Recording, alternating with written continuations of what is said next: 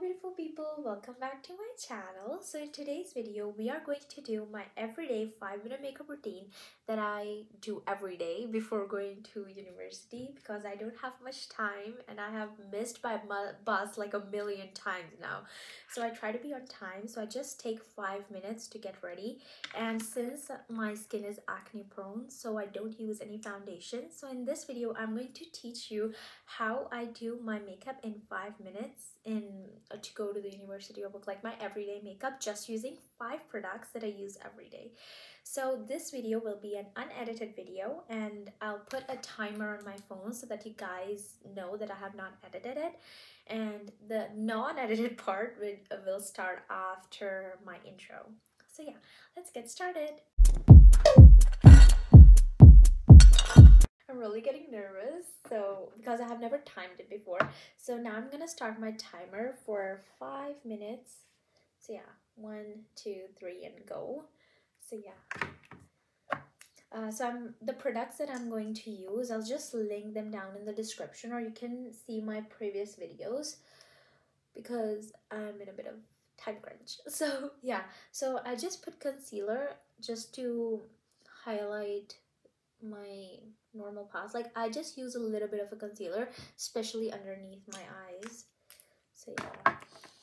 Also, I blend it with um, dry beauty blender instead of a, a wet one because I want to absorb the extra concealer that I have put on my face. It's so weird that I'm filming an unedited video. Like, I've never done this before.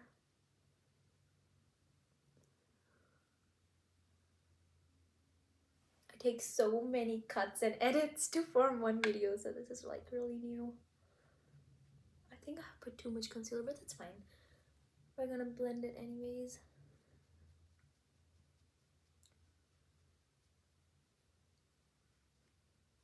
Since my skin is like acne prone I don't put I try to avoid foundation on this part because I don't want my pores to get clogged or anything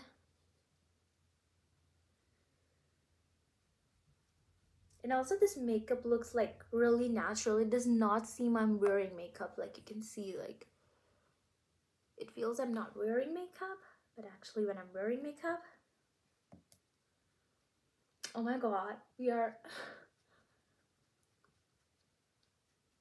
two minutes in. Oh my god. Okay. So the foundation is totally blended. I'm going to use my no not the foundation. The concealer is totally blended. Now i'm going to use my Pixi blush. I use this one. First of all it's really creamy. Second of all it's a moisturizer rather than a proper blush. And it does not harm my skin. Like it does not break me out because it's like a tinted moisturizer but in a form of a blush. Just bring it. Let me check time oh it's 2 minutes 39 seconds. Put a little bit of blush here. Bit on the top. And then after you're done with this, I'm just gonna set everything in place with my setting powder. I don't put much. That is what I have learned in all these years.